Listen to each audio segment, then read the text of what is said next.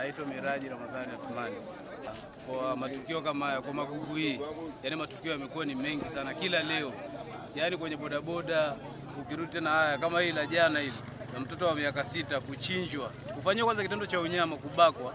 Baada ya kumaliza huyu bwana kufanya kitendo hicho, akamtenganisha baina ya kichwa na kiwiliwili. Kwa hiyo ni kitendo ambacho siyo sahihi. Kwa hata kama ni serikali, serikali iangalie, na matukio haya yamezidi kila leo, na tukiwapeleka hata wahalifu hapo kituoni, yani hawakai, wanatolewa eh, wanatolewa yani hawakai wana, kesho leo na kesho kutwa unamkuta mtu tena anaendelea kusurvive tu, na wakati ameshatenda vitendo vya, vya kinyama kama hivyo. Jina naitwa Swai. Um, hili ni tukio ambalo lilifanyika jana. Sasa wananchi hapo wanacholalamikia ni uchungu tu wa kuona mtoto mdogo kama yule anapoteza maisha kwa, kwa, kwa kuwawa. Kulikoni? Huyu mtoto kufa katika, ni uchungu tu wa wananchi, hakuna jambo lingine.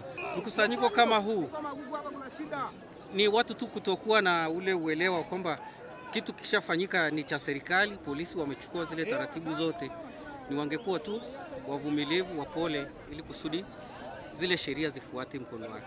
Ah, ni mafikirisho, hamna mwenye uhakika mpaka sasa hivi, ni mafikirisho kwa sababu ishu inapokuwa katika vyombo vya sheria lazima wakae chini ijulikanike. Mimi kwa mawazo yangu, hata kama alikuwa amekamatwa huyo mhusika, nilikuwa nina, ninapenda kwanza mimi kujua kama yuko katika mikono ya polisi, tujue kwanza kwa nini kwa nini ali, alifanya kitendo kile cha kumuua mtoto mdogo kama yule. Hicho ni cha kwanza. Labda wananchi tungevuta subira. Mimi hamu yangu ni kutaka kujua yule mtoto yule mtoto tujue ni kisa ni nini mpaka afanyiwe unyama wa kiasi hicho. Labda wananchi tu tungekuwa wapole, alafu tujue vyombo vya sheria vifuate utaratibu wake.